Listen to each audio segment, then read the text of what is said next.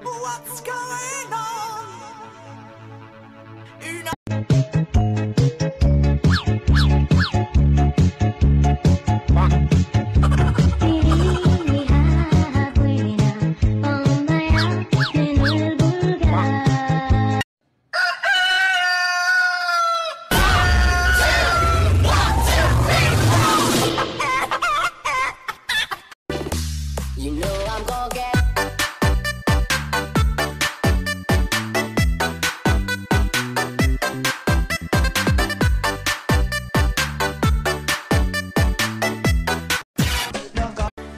Pagod na ako.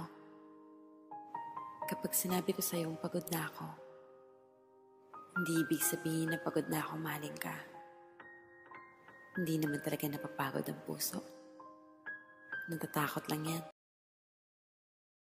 Tao? Hindi, hindi. Hayop? Hindi rin, hindi rin. Bagay? Oo, oo. Meron ka ba nito?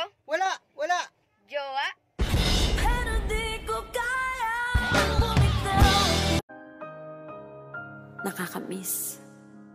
Nakakamiss yung mga panahong ikaw ang dahilan kung bakit ako sumasaya. Yung tipong paulit-ulit ako nagmamahal.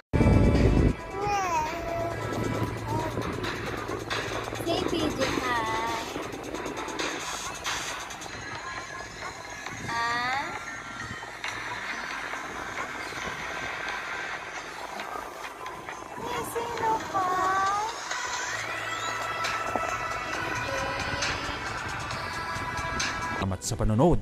Magkita-kita tayo sa susunod na video. Hanggang sa muli,